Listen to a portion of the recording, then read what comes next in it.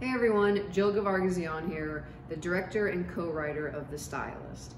I'm really excited to be putting together a list of 31 horror films to watch this October for Letterboxd.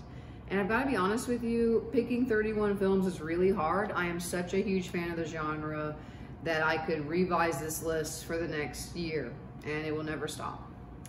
But I decided I had to pick stuff from all different eras, going way back to the classic films, to stuff I grew up seeing, all the way to stuff that's only a couple years old, even something from this year.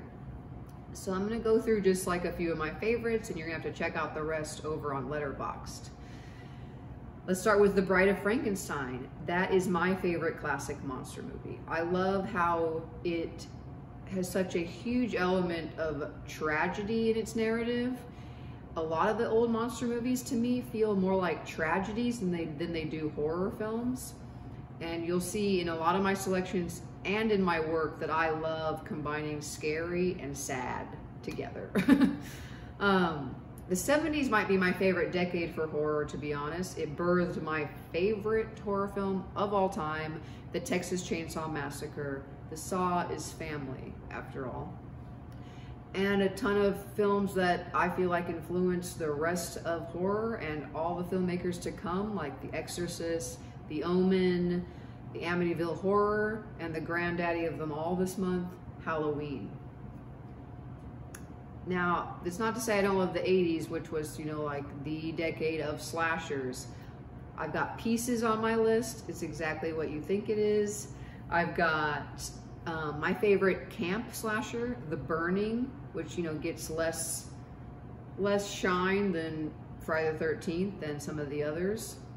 Um, then if we skip on up to the 90s, Candyman, one of my favorite films of all, all time.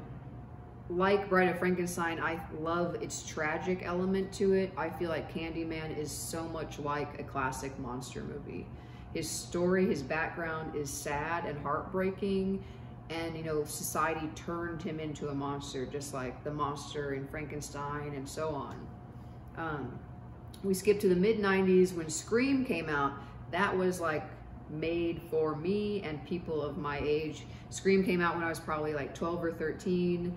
I was already a horror fan, but that like turned me into a fanatic. It, I remember finding this like blog on the internet, and this is before the internet was very big, and it like called out every reference in Scream to older films, and I really used this as like a bible, like I need to watch all these films, and then I will be a horror expert and you know scream was also the beginning of the huge like teen horror madness of the late 90s which i was there for. I loved stuff like idle hands is one of my favorites. It's on the list. Final destination big devon sawa fan over here. Um, ginger snaps love high school horror films. Jen jennifer's body coming up a little sooner is also on my list. Um, I also have a huge thing for witch films, Satan films, a lot of times it's the same thing. Like the classic The Blair Witch Project, I can still see where I was sitting in 1999 in the movie theater the first time I watched that movie. And still to this day, I think it's horrifying. Um, in that same world, I've got The Witch on my list. I've got two more recent Indonesian films, Satan's Slaves and Queen of Black Magic. Those films are really interesting to see and refreshing because they also have a lot of Indonesian folklore in their narratives. And then all the way up to this year, I've included Censor on my list, which was from writer-director Prano Bailey Bond. It started as a short film called Nasty back in 2016. Censor is about that era in England when they would call films that would be banned video nasties. Uh, even Texas Chainsaw Massacre was a video nasty. They were not allowed to release in the UK, which just made them all the more popular. And Censor is an incredible film about that. One of the best horror films I've seen in years. Um, so check it out.